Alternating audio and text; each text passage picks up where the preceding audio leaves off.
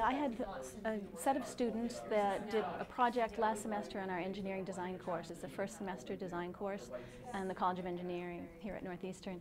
And they were allowed to pick a particular humanitarian-based or service-oriented project for their um, final major project for the course. Each of these students chose the service dog project, designing something to expand the capabilities of service dogs and their human partners. I'm Kristen Hartness Law, and this is my partner Bronson. Bronson is a smooth coat collie, and I'm the executive director of Canines for Disabled Kids.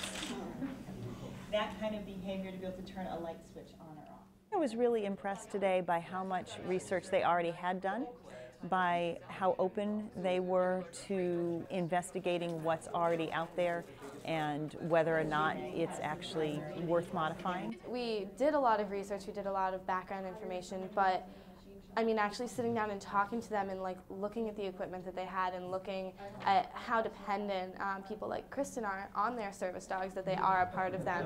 This really helped to give perspective on how involved the human dog partnership is. I think it's extremely important to meet uh, your people, like your end users. If we meet with them first, we can get their needs and understand what they want, uh, which will help us build a product that will actually be successful and more importantly help people in the real world, which is the end goal of this project. I definitely think they have the potential and the, the drive to make a product that will be actually produced and be able to make an in, a difference in the industry, not just something that stays in the classroom. I've always wanted to design, uh, you know, some kind of product and just you know see something that I made make a difference. So there was actually something in our textbook that said there's a common misconception that engineers are only concerned with machines and computers and are loners that don't like to interact with society and that's the complete opposite of what we are. Like we want to help people and we have a passion for making things better and making things as easy as possible. Nothing is beyond them with